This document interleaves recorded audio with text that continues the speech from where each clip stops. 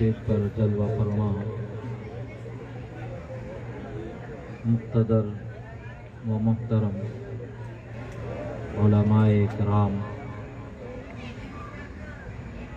حاضرین اسلام، السلام علیکم ورحمۃ اللہ تعالی وبرکاتہ۔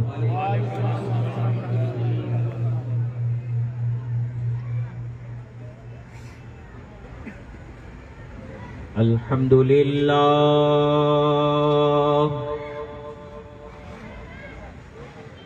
الحمد لله الذي فتح لأوليائه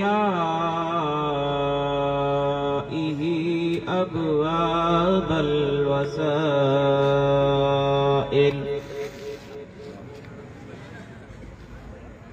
وأجرى على الكريمة أنواع الفضائل.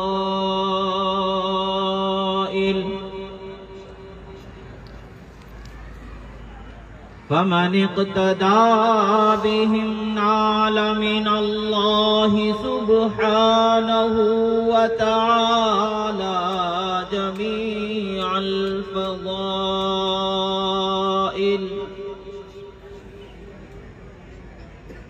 ومن حاد عن طريقهم انتكس وصار من أهل الرذائل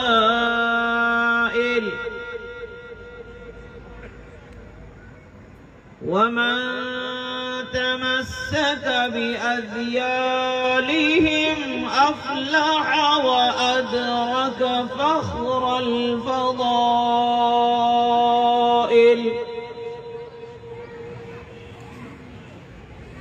والصلاة والسلام على نور الوحدانية.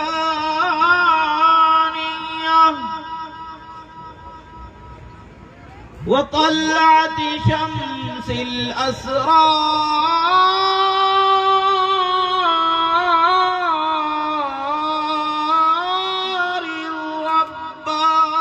الربانية. وبهجة قمر الحقائق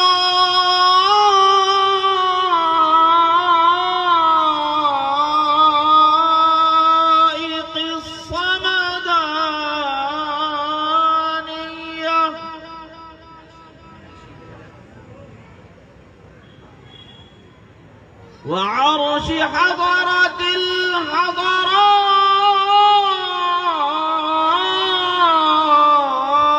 الرحمانية.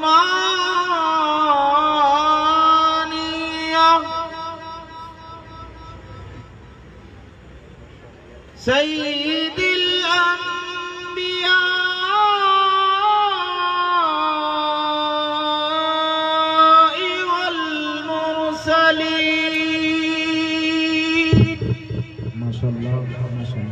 Gimana?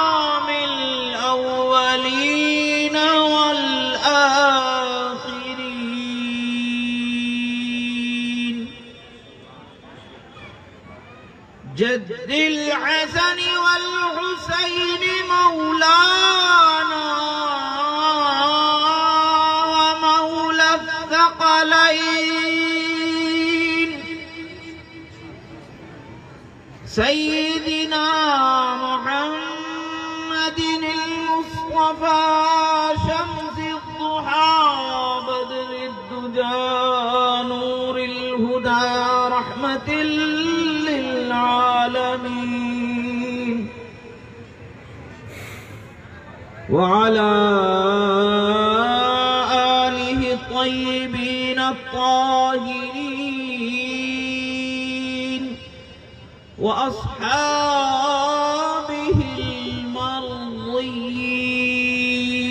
المرضيين والتابعين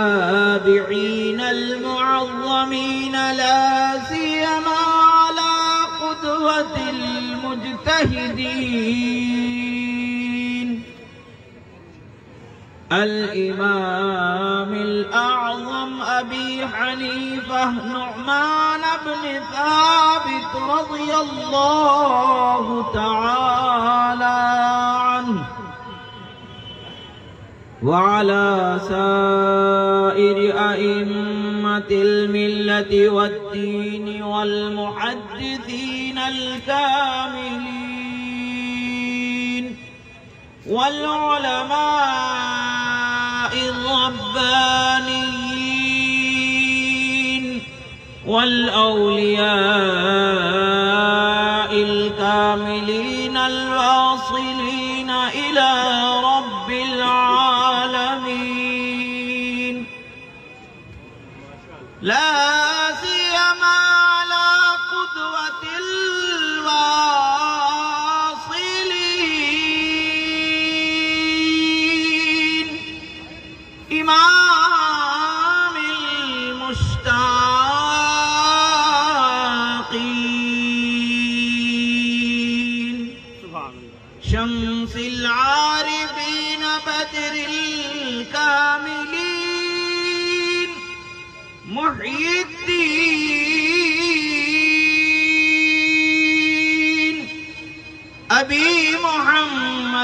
سيدنا عبد القادر الحسني الحسيني الجعفري الجيلاني رضي الله تعالى عنه ومن تبعهم بإحسان إلى يوم الدين. أما بعد فقد قال الله تبارك وتعالى في القرآن المجيد والفرقان الحميد. ما شاء الله ما شاء الله. يا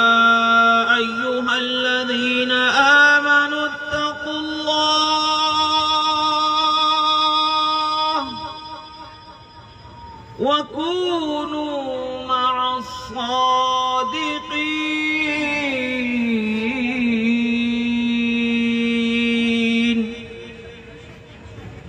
صدق الله صدق الله مولانا العظيم وصدق رسوله النبي الأمين الكريم. ونحن على ذلك لمن الشاهدين والشاكرين. والحمد لله رب العالمين غوث اعظم بمنے بے سرو ساما مددے۔ غوث اعظم بمنے بے سرو ساما مددے۔ قبلے دی مددے، کعبہ ایما مددے۔ امداد کن امداد کن از بند غم آزاد کن در دین و دنیا شاد کن یا غوث اعظم، دستگیر المدد شیئا للہ، المدد شیئا للہ، المدد شیئا للہ. عقیدت و محبت کے ساتھ ایک مرتبہ بارگاہ رسالت صلی اللہ علیہ وسلم میں درود و سلام کا ہدیہ انچاور کریں۔ پڑے اللہم صلی علی سیدنا، نبینا، مولانا محمد عدد ما فی علم اللہ صلاة دائمتا بدوام ملک اللہ. وعلى آلہ واصحابہ اجمعین اعلی حضرت علیہ رحمت و رضوان ارشاد فرماتے ہیں خدا کی رضا چاہتے ہیں دعا لیں خدا کی رضا چاہتے ہیں دو عالم خدا چاہتا ہے رضائے محمد صلی اللہ علیہ وسلم۔ علامہ اقبال کہتے ہیں کہ محمد سے وفا تو نے تو ہم تیرے ہیں۔ کہ محمد سے وفا تو نے تو ہم تیرے ہیں جہاں چیز ہے کیا لوہو قلم تیرے ہیں۔ فرش والے تیری شوکت کا علو کیا جانے؟ فرش والے تیری شوکت کا علو کیا جانے؟ خسروا عرش پہ اڑتا ہے دھرے گا اور اعلی حضرت ارشاد فرماتے ہیں، واہ کیا مرتبہ اے غوث ہے بالا تیرا۔ واہ کیا مرتبہ اے غوث ہے بالا تیرا۔ اونچے اونچوں کے سروں سے قدم مالا تیرا۔ سر بھلا، کیا کوئی جانے کہ ہے کیسا تیرا؟ سر، بھلا کیا کوئی جانے کہ ہے کیسا تیرا؟ اولیاء ملتے ہیں آنکھیں، وہ ہے تلوا تیرا۔ الاما والحفیظ وہ قہر ہے تیکھا تیرا۔ حضرت فرماتے غوث اعظم کی بارگاہ کے بے ادب کو۔ فرما الاما وہ قہر ہے تیکھا تیرا۔ مر کے بھی چین سے سوتا نہیں مارا تیرا۔ طلب کا منہ تو کس قابل ہے یا غوث؟ طلب کا منہ تو کس قابل ہے یا ہم گناہگار خطا کار سیاہ کار ہمارا منہ کس قابل کے مانگے؟ طلب کا منہ تو کس قابل ہے یا مگر تیرا کرم کامل ہے یا آئے ایک مرتبہ اور عقیدت و محبت کے ساتھ درود شریف کا نظرانہ پیش کریں۔ پڑے اللہم صلی علی سیدنا، نبینا، مولانا محمد عدد ما فی اللہ صلاة دائمتا بدوام ملک اللہ وعلا آلہ و اجمعین حضرت مفتی اعظم مہاراشٹر مفتی غلام محمد خان صاحب قبل علیہ رحمت و رضوان ارشاد فرماتے ہیں، ولایت کے بلند پرواز حیران ہے بلندی ولایت کے بلند پرواز حیران ہے بلندی پر، سمجھ میں ہی نہیں آتی ہے رفعت غوث اعظم۔ اور انہی کے شہزادے جناب امجد رضا امجد ارشاد فرماتے ہیں کھلے اس پہ معرفت کے نئے باب غوث اعظم۔ کھلے اس کے کھلے اس پہ معرفت کے نئے باب غوث اعظم۔ تیرے میں کدی سے پی لے جو شراب غوث اعظم۔ تو علی کا زور بازو، تو بطول کی کرامت۔ تو علی کا زور بازو، تو بطول کی کرامت۔ تو حسین و حسن کا ہے شباب غوث اعظم۔ غوث اعظم رضی اللہ تعالیٰ عنہ کی شان و عظمت کا بیان ہم کیا بیان کریں؟ یہ اللہ کا فضل ہے کہ اللہ نے ہمیں ان کے ذکر خیر کو ہماری زبان سے بیان کرنے اور ہمارے کانوں سے سننے کا ہمیں موقع عطا فرما دیا یہ وہ عظمت والی بارگاہ ہے کہ جہاں بڑے بڑے بلند پرواز، دست بوسی، قدم بوسی، پا بوسی کرتے، کفش برداری کرتے نظر آتے۔ تفریح الخاطر فی مناقب شیخ عبد القادر تفریح الخاطر فی مناقب فی مناقب شیخ عبد القادر علامہ عبد القادر اربلی علیہ الرحمت و رضوان کے تعریب شدہ کتاب میں واقعات کو ذکر کیا جاتا ہے، واقعات کو ایسے بیان کیا جاتا ہے۔ اس کے علاوہ دیگر مستند تاریخ و سیرت غوث اعظم رضی اللہ تعالی عنہ کی کتابوں میں واقعات کو ذکر کیا گیا۔ اور بھی جگہوں پر مشائق سے اور علماء سے، محدثین سے، ناقدین سے سبوں کا غوث اعظم رضی اللہ تعالی عنہ کی بارگاہ میں یہی اعتراف ہے کہ جتنی سند سے حضور غوث اعظم رضی اللہ تعالی عنہ کا واقعات، کرامات اور آپ کی سیرت کا سند کے اعتبار سے ہم تک پہنچنا ہوا ہے، وہ اور دوسرے لوگوں کے حق میں ایسا مستند نہیں ہوتا ہے۔ بڑے بڑے نقاد، بڑے بڑے ناقدین نے اس بات کا اعتراف کیا کہ واقعی غوث اعظم رضی اللہ تعالیٰ عنہ کو رب ذوالجلال نے ولایت کے ایسے بلند مقام پر فائز فرمایا، ایسے بلند مقام پر فائز فرمایا کہ ان کی بلندی کو حیران ہے تکنے والے۔ اسی کو اعلیٰ حضرت فرماتے ہیں، سر بھلا کیا کوئی جانے کے ہے کیسا تیرا؟ سر بھلا کیا کوئی جانے کے ہے کیسا تیرا؟ اولیاء ملتے ہیں آنکھیں وہ ہے تلوار۔ آپ نقل فرماتے علامہ عبد القادر اربلی علیہ رضوان تفریح القادر میں نقل فرماتے ہیں کہ کوئی ولی حضرت امام حسن بصری کے زمانے سے لے کر کے غوث اعظم رضی اللہ تعالی عنہ کے مختار شریف میں رونما ہونے سے پہلے تک جس جس ولی کو بھی ارشاد کے مسلح پر بیٹھنا ہوا ہے جس جس ولی نے بھی اولیاء کے طرز کو پورا کیا ہے جو مقام ولایت و منصب عظمت پر جسے فائز کیا ہے کوئی ولی ایسا نہیں گزرا کہ اس نے غوث اعظم کی بشارت نہ سنائی ہو بلکہ ہر ولی نے حضرت امام حسن بصری کے زمانے سے لے کر کے غوث اعظم کے ظاہر ہونے سے پہلے تک کے ہر ولی نے غوث اعظم کے ولایت کی بشارت سنایا۔ اور اسی کو کہتے ہیں غوث اعظم۔ نظر تو الى بلاد اللہ دمعن کا خردلت علی حکم اتصالی ووقتی قبل قلبی قد صفالی بلاد اللہ ملکی تحت حکمی آپ ارشاد فرماتے بلاد اللہ ملکی تحت حکمی ووقتی وقتی قبل قلبی قد صفالی فرماتے ہیں، اللہ کے بنائے کائنات کے یہ سارے عالم، سارے بلاد اللہ تبارک و تعالیٰ نے میری نگاہوں کے سامنے ایسا فرمایا جیسے میں ہتھیلی میں رائی کا دانہ دیکھتا ہوں۔ اور فرمان تحت بلاد اللہ ملکی تحت حکمی، میرے حکم کے زیر اثر اللہ تبارک و تعالیٰ نے تمام بلاد کو فرما دیا ہے۔ اور میرے اس مقام کا بیان خدا نے میرے پیدا کرنے سے پہلے ہی بیان فرما دیا۔ اسی کو کہتے ہیں ولایت کی بلند پرواز حیران ہے بلندی پر۔ ولایت کی بلند پرواز حیران ہے بلندی پر۔ سمجھ میں ہی نہیں آتی ہے رفعت غوث اعظم حضور غوث اعظم رضی اللہ تعالیٰ عنہ ارشاد فرماتے فمن کان، فمن فی اولیاء اللہ مثلی، ومن فی العلم والتصریف حالی۔ فمن فی اولیاء اللہ مثلی، ومن فی العلم والتصریف حالی، رجالی فی حواجرہم صیام وفی ظلم اللیالی کل آلی۔ فرماتے ہیں، کون ہے اللہ کے ولیوں میں میری جیسا تھوڑی مثال تو دے کر کے دکھاؤ؟ کون ہے میرے جیسا کوئی مثال دے کر کے دکھاؤ؟ پھر فرماتے ہیں، لوگوں کے یعنی ولیوں کے احوال کو بدلنے پر جو خدا نے اختیار عطا فرمایا ہے حال کو دوسرے حال میں بدلنے کا جو تصرف خدا نے غوث اعظم کو عطا فرمایا ہے، اس تصرف کی طرف اشارہ کرتے ہوئے ارشاد فرماتے ہیں، فمن فی اولیاء اللہ مثلی، کون ہے میری طرح؟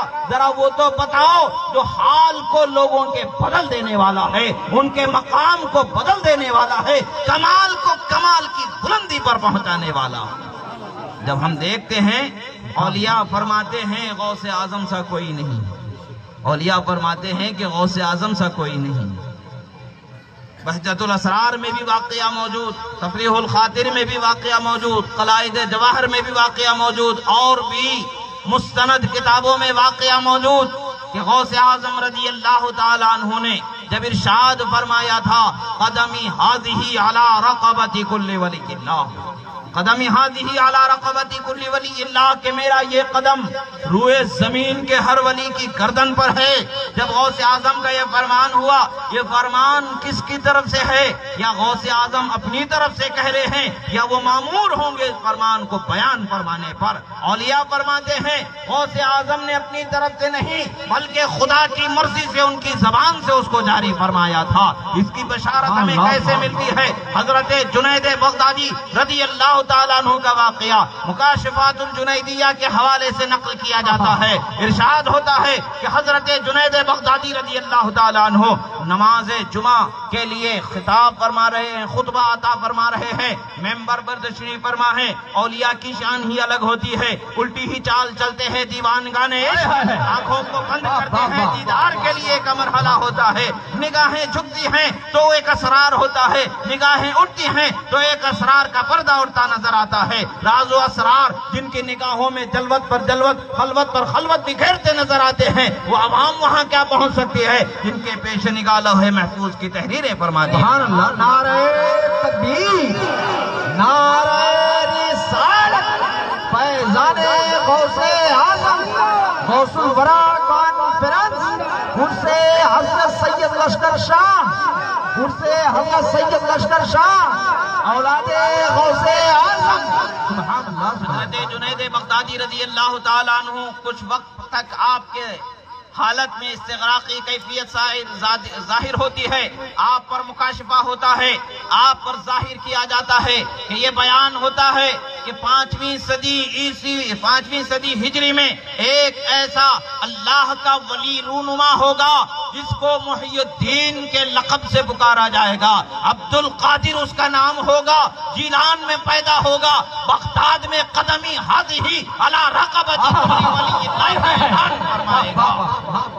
حضرت جنید بغدادی رضی اللہ تعالیٰ عنہ پر یہ راز جب ظاہر ہوا، حضرت جنید بغدادی رضی اللہ تعالیٰ عنہ نے لمحہ بھر کے لیے تعمل کیا۔ انہوں نے سوچا کہ لگ بھگ ان کے اور غوث اعظم کے درمیان ڈھائی سو سال کا فاصلہ ہے۔ آپ نے سوچا تو میرے بعد جو ڈھائی سو سال یا دو سو سال بعد آنے والے ولی ہیں، ان کی بات کی جا رہی ہے۔ چونکہ میں اس وقت پر رہوں گا نہیں اور اس لیے میرے لیے شاید کہ ضروری نہیں کہ میں بھی سر تسلیم خم کر لوں آپ کے دل میں یہ خیال آنا ہی تھا۔ آپ فرماتے ہیں، کچھ دیر کے بعد لوگوں نے دیکھا کہ معاملہ کیا ہے۔ آپ نے فرمایا قدم علا رقبتی قدم علا رقبتی فرمایا۔ ان کا قدم میری گردن پر ہے، ان کا قدم میری گردن پر ہے۔ بعد نماز کے اختتام کے مریدوں نے پوچھا، حضور معاملہ کیا تھا؟ لمحہ بھر کو استغراق تھا، پھر زبان سے کلمہ نکلا قدم علا رقبتی، ان کا قدم میری گردن پر۔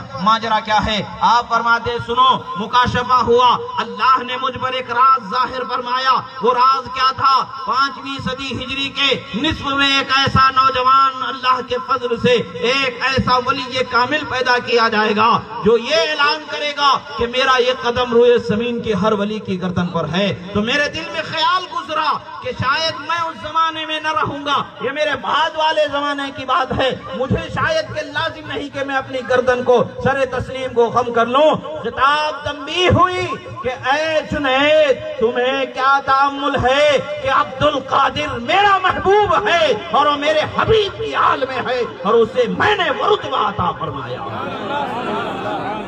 جب حضرت جنید بغدادی رضی اللہ تعالیٰ عنہ پر مکاشفہ کے ذریعے تنبیہ وارد ہوئی، حضرت جنید بغدادی فرماتے ہیں کہ ان کا قدم میری گردن پر ہے، ان کا قدم میری گردن پر ہے۔ اعلیٰ حضرت علیہ الرحمن و رضوان فرماتے ہیں، صحابیت ہوئی، پھر تابعیت، بس اس کے آگے قادری منزل ہے، یا صحابیت ہوئی، پھر تابعیت، بس اس کے آگے قادری منزل ہے، یا یعنی تابعیت کے بعد اگر کوئی مقام و مرتبہ ہے، ولایت کا اگر تابعیت کے بعد اگر کوئی مقام و منصب و عصمت ہے، تو وہ مقام غوثیہ، مقام غوث اعظم رضی اللہ تعالیٰ عنہ ہے۔ اسی لیے تو فرماتے ہیں، صحابیت ہوئی، پھر تابعیت، بس اس کے آگے قادری منزل ہے یا غوث۔ یعنی عزیزم، آج ہمارے درمیان جو ہم، جس کے ذکر کے لیے ہم جمع ہوئے ہیں، وہ ذات ایسی ذات نہیں ہے کہ آج ہم ان کا ذکر کر رہے ہیں۔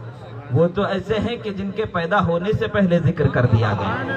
وہ ایسے ہیں کہ جن کے پیدا ہونے سے پہلے جن کے مقام کو بتا دیا گیا، جن کی عظمت کو بتا دیا گیا۔ اسی کو تو فرماتے ہیں، بلاد اللہ ملکی تحت حکمی و وقتی قبل قلبی قد صفانی۔ بلاد اللہ ملکی تحت حکمی و وقتی قبل قلبی قد صفانی۔ اور آج ہم غوث اعظم کا ذکر کر کے بڑے خوش نصیبی محسوس کرتے ہیں۔ بڑے خوش نصیبی اپنے لیے ہم محسوس کرتے ہیں، یہ خوش نصیبی بے شک خوش نصیبی ہے، بہت خوش نصیبی ہے۔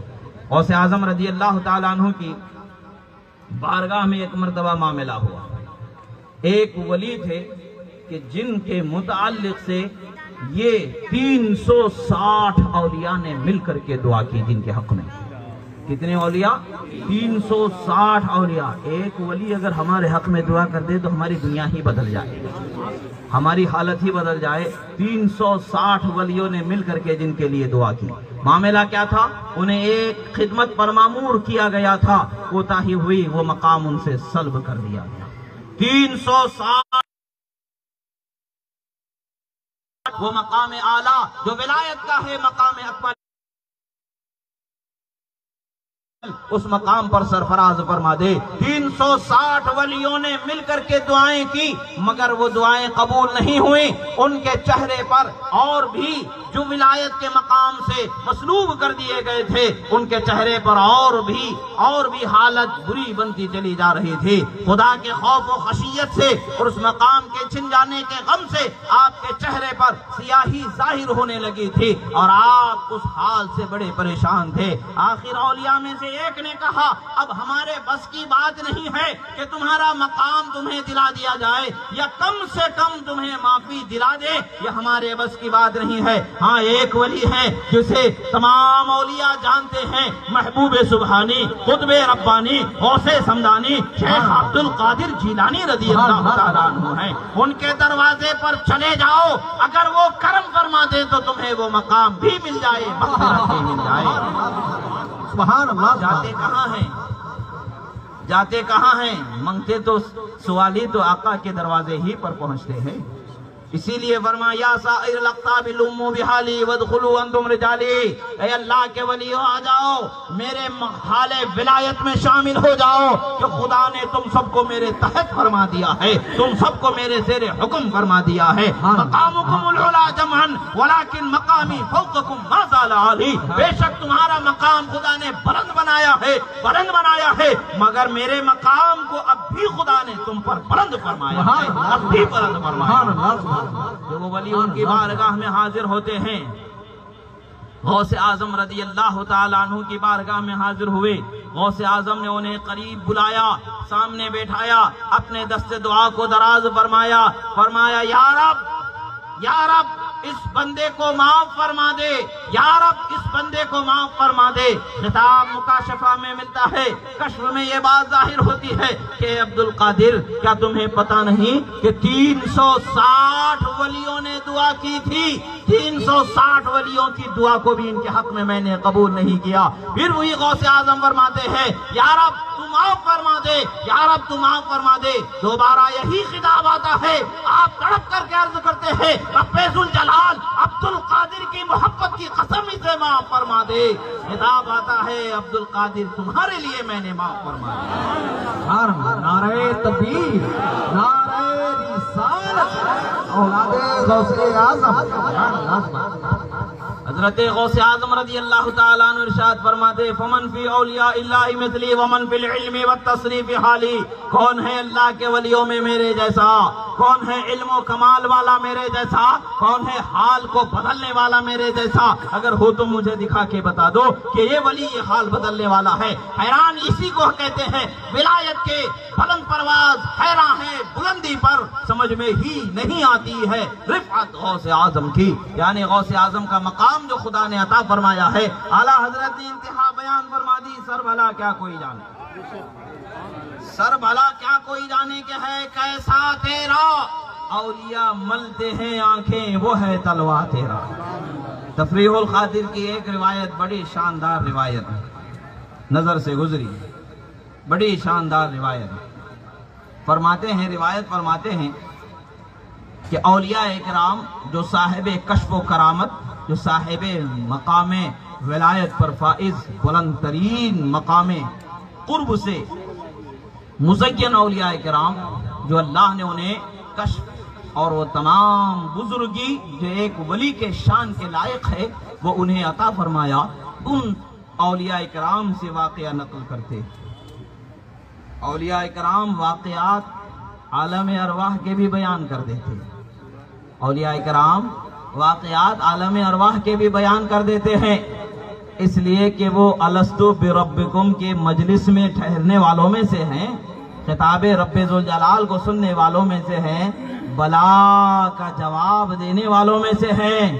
وہ عالم ارواح کو وہ خوبی یاد رکھتے ہیں۔ دنیا میں بھی اس روح کو پہچانتے ہیں، جس روح سے ملاقات عالم ارواح میں ان کی ہو چکی ہوتی ہے۔ اور روحوں کا بدن سے ہزار سال پہلے پیدا کیا جانا اور خدا کی مرضی سے تصرف کرنا، یہ بھی احادیث مبارکہ سے ثابت ہے۔ اعلیٰ حضرت علیہ رحمت و رضوان نے فتح افریقیہ وغیرہ کے اندر اس پر سیر حاصل گفتگو فرمائی ہے۔ مسئلے کی نوعیت سے صحت اور وضع کے حیثیت سے اس کو ثابت کرنا مقصود نہیں ہے۔ وہ تو ہمارے اکابر نے بیان کر دیا ہے۔ بس اتنا ہی کافی ہے۔ کہ اکابر اولیاء کرام نے اس کو بیان فرما دیا۔ یہی ہمارے لیے کافی اس واقعے کے لیے۔ واقعہ کیا ہے؟ آپ فرماتے ہیں کہ جب سرکار مدینہ صلی اللہ تعالی علیہ وسلم کو شب معراج رب ذوالجلال نے معراج میں بلایا، اپنے قرب خاص سے نوازا، تو آپ کے استقبال کے لیے انبیاء کرام کی ارواح مقدسہ کو بھی جمع فرمایا، اولیاء ازام کی ارواح مقدسہ کو بھی جمع فرمایا۔ اولیاء اعظام کی بھی ارواح مقدسہ کو جمع فرمایا۔ بعض روایتوں میں آتا ہے کہ جب آپ عرش پر قدم رنجا فرمانا چاہا اس وقت پر عرش کی عظمت و بلندی رہی تو روح غوث اعظم نے رب ذوالجلال کی بارگاہ میں اجازت چاہیے کہ رب ذوالجلال، تیرے حبیب کے قدم میری گردن میں رکھنے، گردن پہ رکھنے کی مجھے اجازت عطا فرما دے۔ اجازت میسر ہوئی۔ غوث اعظم کے گردن پر سرکار نے قدم رکھا اور ان سے متعلق سے پوچھا، جواب ملتا ہے، اے میرے حبیب، یہ تمہارے شہزادوں میں سے ایک شہزادہ ہے۔ جسے تمہارے نقش قدم پر کر دیا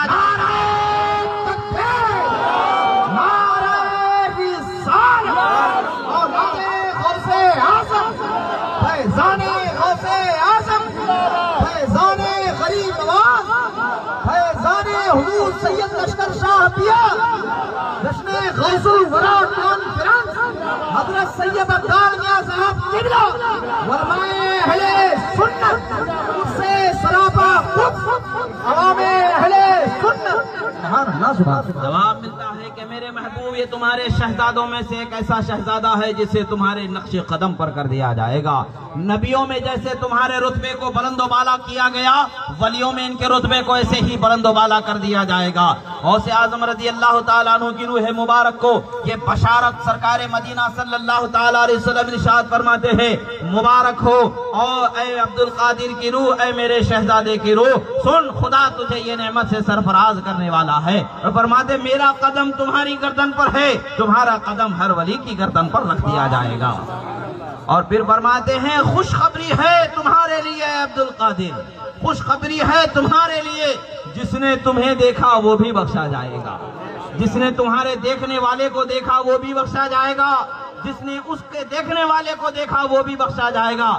ستائیس پشتوں کو اس میں گنایا گیا ہے۔ کتنے کو گنایا گیا ہے؟ ستائیس پشتوں کو گنایا گیا ہے کہ ستائیس پشتوں تک تمہارے دیکھنے والے کے بھی دیکھنے والے کے بھی دیکھنے والے کے دیکھنے والے کے دیکھنے والے کے دیکھنے والے کے ستائیس پشتوں تک گنا گنایا گیا، فرمایا گیا کہ ستائیس پشتوں تک کے دیکھنے والے کو معاف فرما دیا جائے گا، بخش دیا جائے گا۔ اللہ کی رحمت سے سرفراز زندہ باد، رک کر۔ آپ سمجھ رہے ہیں نا؟ ستائیس پشت۔ یہ چودہویں پشت ہے۔ یقین مائیں چوبیسویں پشت ہے۔ الحمدللہ۔ ستائیس پشت تک آ گئے نا، ہم چوبیسویں پشت کی زیارت کر رہے ہیں۔ اور ہمیں یقین ہے جو میرے آقا صلی اللہ علیہ وسلم نے کہہ دیا، وہ بات حق کر رہے گی۔ لگائیے نعرہ نعرہ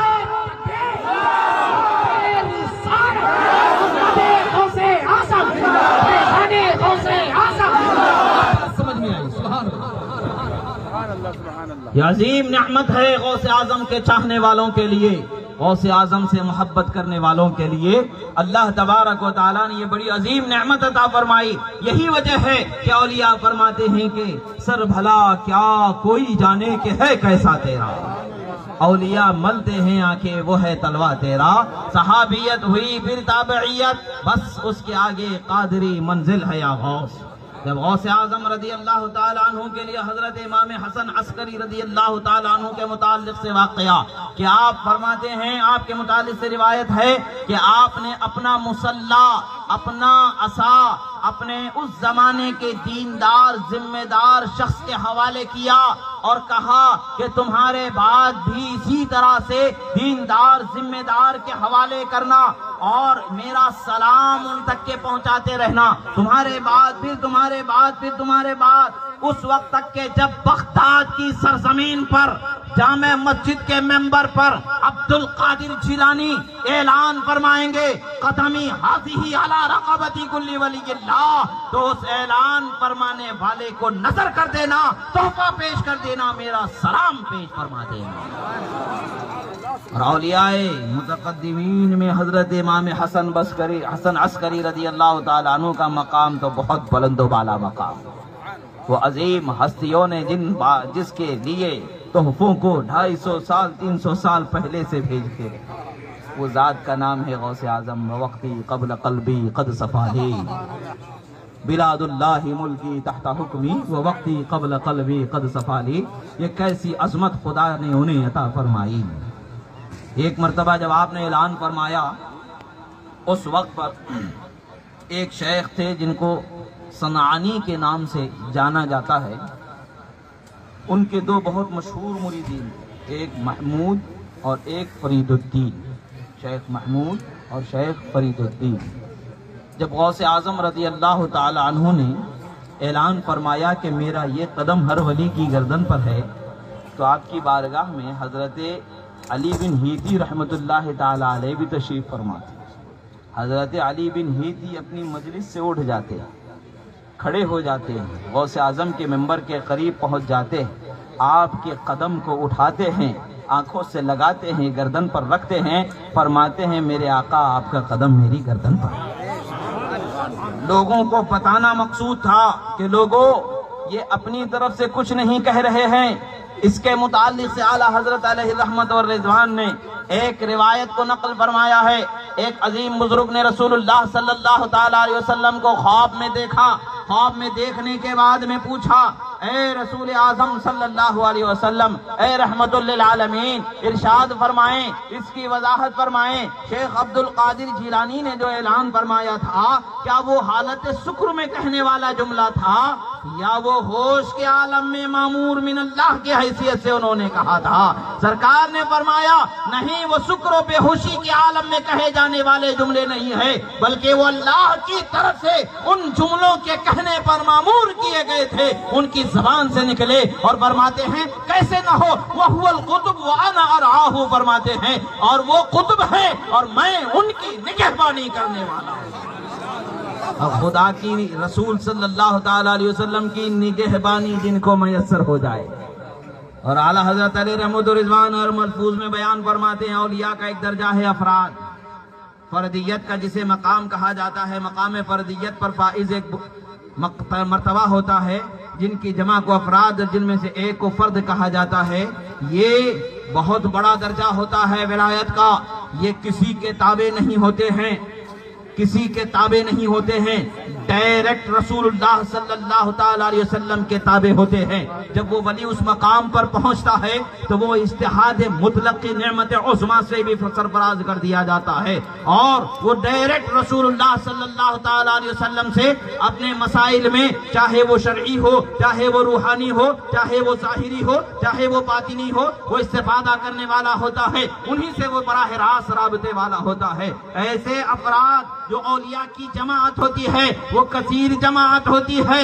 یہ اگر کسی کی طرف رجوع لاتے ہیں، تو وہ سرکار غوث اعظم کی بارگاہ ہے، جن کی بارگاہ میں رجوع لائے بغیر چارہ ان کو نہیں یہ وہ مقام ہے کہ ان کی بارگاہ میں چارہ رجوع لائے بغیر نہیں یعنی ولایت کی بلند پرواز حیران ہے بلندی ولایت کے بلند پرواز حیران ہے، بلندی پر سمجھ میں ہی نہیں آتی ہے۔ رفعت غوث اعظم کی۔ یہ غوث اعظم رضی اللہ تعالیٰ عنہ کا مقام ہے۔ قطبیت کبرا اور غوثیت عظمہ کے عظیم مقام پر سرفراز ہوئے۔ یعنی ان کا قول اپنی طرف سے یا بے ہوشی میں کہے جانے والا نہیں، ہوش میں کہے جانے والا معمور من اللہ ہے اور وہ وہ بے ہوشی میں نہیں کہا جا سکتا کیونکہ میں ان کی نگہبانی کرنے والا ہوں۔ وہ ہوش والوں کو ہوش دینے والی ذات غوث اعظم کی ہے۔ ہوش کو ہوش عطا کرنے والی ذات غوث اعظم کی ہے کیونکہ انہیں ہوش دینے والی ذات رحمت عالم صلی اللہ تعالی علیہ وسلم کی عظیم ہے۔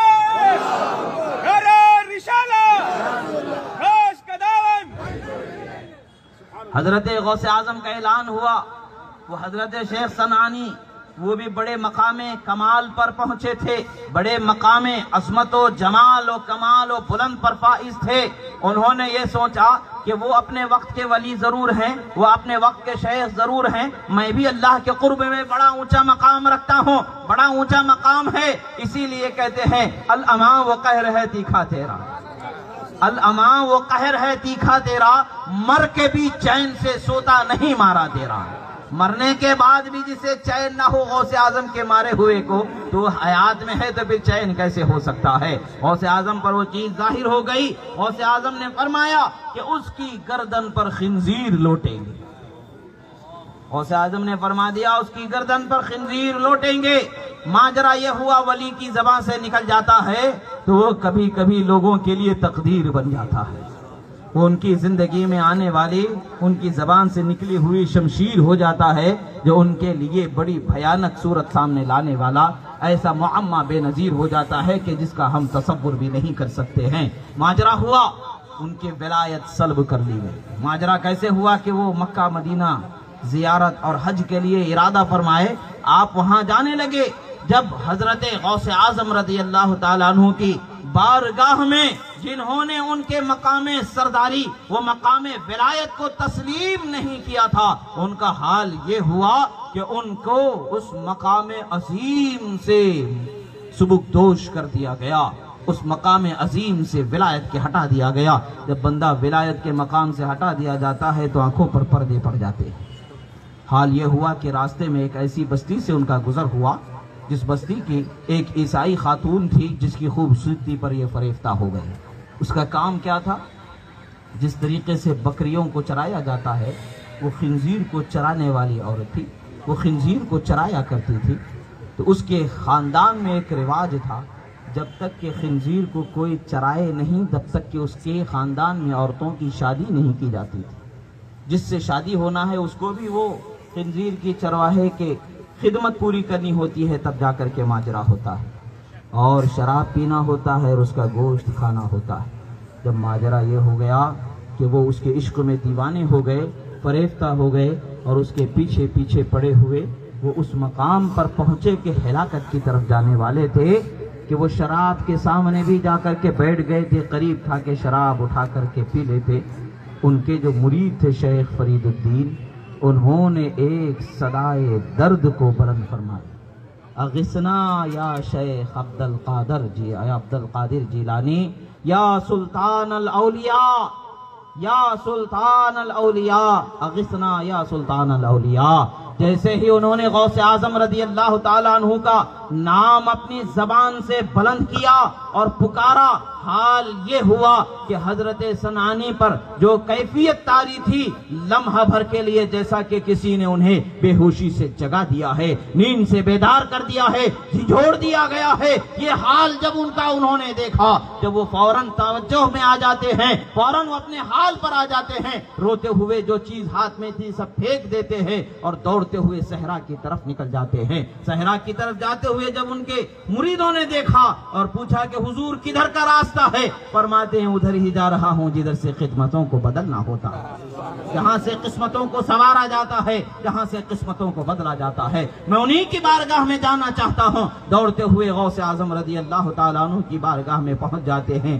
غوث اعظم کے دروازے کی خاک کو منہ پر مل لیتے ہیں۔ غوث اعظم کی بارگاہ میں اپنی اس بے وقوفی کا وہ اعتراف کرتے ہیں، توبہ کرتے ہیں۔ غوث اعظم کا دریائے رحمت جوش میں آتا ہے۔ رب ذوالجلال کی بارگاہ میں دعا کرتے ہیں کہ پروردگار انہیں معاف فرما دے، انہیں مقام عطا فرما دے۔ وہی جواب ملتا ہے، تمہارے بے ادب کو معاف نہیں کیا جاتا۔ تمہارے بے ادب کو معاف نہیں کیا جاتا۔ پھر غوث اعظم عرض کرتے، رب ذوالجلال، معاف فرما دے، رب ذوالجلال، معاف فرما دے۔ پھر وہی جواب ملتا ہے، تمہارے بے ادب کو معاف نہیں کیا جاتا۔ پھر عرض کرتے، رب ذوالجلال، تجھے عبد القادر کی محبت کا واسطہ، اس بندے کو معاف فرما دے، مقام بلند عطا فرما دے۔ تو اللہ تعالیٰ فرماتا ہے عبد القادر تمہاری محبت کی خاطر معاف فرما دے۔ اور انہیں وہ مقام بلند و بالا عطا کر دیا گیا، جس مقام سے انہیں ہٹایا گیا، اس سے بڑا مقام عطا فرما دیا گیا۔ اسی کو اعلیٰ اسی کو غوث اعظم فرماتے فمن فی اولیاء اللہ مثلی ومن فی العلم والتصریف حالی غوث اعظم رضی اللہ تعالیٰ عنہ کے شان و عقیدے کو کس وقت تک ضرور شریف پڑھیں آپ لوگ۔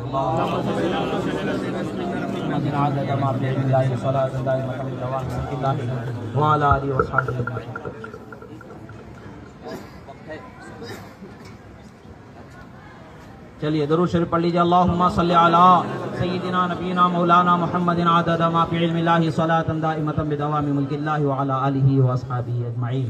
غوث اعظم رضی اللہ تعالیٰ عنہ کی شان و عظمت کا اندازہ علم والے جو ولایت کا علم ہے، جن کی نگاہوں کو ولایت کے نور سے منور کیا ہے، وہی جان سکتے ہیں۔ ہم اور آپ ان کے کلام کو سن کر کے سمجھنے کی بس کوشش کر سکتے ہیں۔ نہ دیکھنے کی طاقت ہے، نہ جاننے کی صلاحیت ہے، نہ ادراک کا ہمارا مادہ ہے۔ بس تو ہمارے لیے یہی ہے کہ وہ ہمارے آقا ہیں، ہم ان کے غلام ہیں۔ وہ ہمارے مولا ہیں، ہم ان کے غلام ہیں۔ خدا نے ہمیں ان کی غلامی عطا فرما دی۔ یہی ہمارے لیے سب سے بڑی نعمت ہے۔ نعمت عظمہ ہے۔ غوث اعظم رضی اللہ تعالیٰ عنہ کی شان و عظمت کو اللہ تبارک و تعالیٰ نے اتنا بلند و بالا فرمایا کہ غوث اعظم فرماتے مریدی لا تخف اللہ ربی۔ مریدی لا تخف اللہ ربی۔ عطانی رفعتن نلت المنالی۔ اے میرے مرید، نہ گھبرا۔ خدا نے مجھے بلند مقام عطا فرمایا ہے۔ اس کی رحمت کو میں نے پا لیا ہے۔ پھر فرماتے ہیں، مریدی ہموتی وشتہ وغنی وفعل ما تشاؤ فالاسم علی۔ اے میرے مرید، بے فکر ہو جا۔ گھبرا نہیں ڈرنا چھوڑ دے۔ جو من چاہے وہ کرنے والا ہو جا۔ کہ خدا نے میرے نام کو بلند و بالا فرمایا۔ خدا نے میرے نام کو بلند و بالا فرمایا ہے اور فرماتے ہیں کہ غوث اعظم کے نام کو، اولیاء فرماتے ہیں کہ غوث اعظم کے نام کو ان کے مرید کے لیے اس میں اعظم بنا دیا گیا۔ یہی وجہ ہے کہ جب پریشانی میں پھنسا کوئی یا غوث کا نعرہ لگاتا ہے، دریا بھی درزنے لگتا ہے، پہاڑ بھی تھر تھرانے لگتے ہیں۔ وہ جانتے ہیں کہ غوث اعظم کا غلام یہاں سے گزر رہا ہے۔ ولایت کی بلند پرواز حیران ہے بلندی پر سمجھ میں ہی نہیں آتی ہے رفعت غوث اعظم کی۔ غوث اعظم رضی اللہ تعالیٰ عنہ کی بارگاہ میں ایک مرتبہ بغداد شہر سے ایک اللہ کے ولی ہواؤں پر اڑ کر کے گزر رہے تھے اور وہ مقام ابدالیت پر فائز تھے۔ حضرت علامہ جلال الدین سیوتی علیہ الرحمت و رضوان کا مستقل اس باب میں اولیاء کے درجات و مراتب پر نقبہ نوجبہ ابدال، افراد، اغواس وغیرہ جو درجات ہیں، ان درجات پر مستقل ایک رسالہ ہے اور بھی مقتدر علماء اکرام نے احادیث مبارکہ کی روشنی میں بلکہ احادیث کے مجموعے کو اس باب میں جمع فرمایا ہے اور امام سیوتی علیہ رحمت و رضوان وہ ہستی ہیں کہ جنہیں اعلیٰ حضرت علیہ رحمت و رضوان فرماتے ہیں خاتم الحفاظ کے نام سے آپ کو یاد فرماتے ہیں۔ حدیث کے حافظوں میں آپ کے زمانے میں آپ جیسا کوئی حافظ حدیث نہیں تھا، بلکہ آپ کے بعد بھی وہ حافظہ پانے والے کسی اور کو علم والوں نے نہیں جانا، نہیں پہچانا، نہیں دیکھا۔ وہ عظیم مقام پر فائز بزرگ نے اس باب میں روایتوں کو نقل فرمایا ہے۔ بہرحال، جو وہ ولی کامل، جو مقام ابدالیت پر فائز تھے، وہ ہواؤں سے اڑتے ہوئے جا رہے تھے۔ ہواؤں پر اڑنے والا کتنا بلند و بالا ہوتا ہے، اس کا ہمارا آپ کیا اندازہ لگا سکتے ہیں؟ جس ولی کو وہ ولایت کا سر چشمہ بنایا گیا ہے، جس ولی کو ولایت کا منصب عطا کیا گیا ہے، وہی ولی جانتا ہے کہ کتنا بلند و بالا وہ مقام اسے عطا ہوا ہے۔ جب وہ بغداد سے اڑنے لگا، تو ان کے ذہن میں، ان کے فکر میں یہ خیال آیا کہ کیا آج بغداد کی سرزمین پر کوئی عارف باللہ کا وجود ہی نہیں ہے؟ کوئی اللہ کا ولی یہاں نہیں ہے؟ کوئی قطب وقت یہاں نہیں ہے؟ یہ کیسے ہو سکتا ہے کہ بغداد تو قطب وقت سے خالی نہیں ہو سکتی زمین بغداد کی؟ ان کے دل میں خیال آنا ہی تھا کہ وہ اس وقت پر غوث اعظم کے مدرسے کے اوپر سے اڑ رہے تھے۔ اتنا کہنا ہی تھا کہ ہواؤں پر جو طاقت و قدرت خدا نے انہیں عطا فرما دی تھی، وہ سلب ہو گئی، زمین پر آ گئی۔ زمین پر آ گئے اور دروازے کے سامنے غوث اعظم کے مدرسے کے پڑے ہوئے ہیں۔ آنکھوں سے ساروں قطار آنسوؤں کا سیلاب بہ رہا ہے۔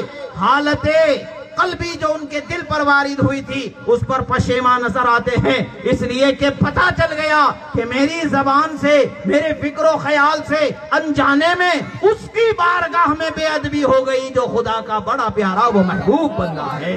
وہ ولی کامل کی بارگاہ میں بے ادبی ہو گئی جسے خدا نے خطب وقت و خطب زمان بنایا ہے۔ اعلیٰ حضرت علیہ رحمت و رضوان ارشاد فرماتے ہیں سید جید ہر دہر ہے مولا تیرا۔ اس سے پہلے کا مصرہ کیا ہے؟ اے رضا، یوں نہ بلک۔ ضرور شریف پڑھ لیا اللہم صلی علی سیدنا مولانا محمد عدد ما فی اللہ صلاۃ دائمۃ بدوام ملک اللہ وعلی آلہ وصحبہ اجمعین۔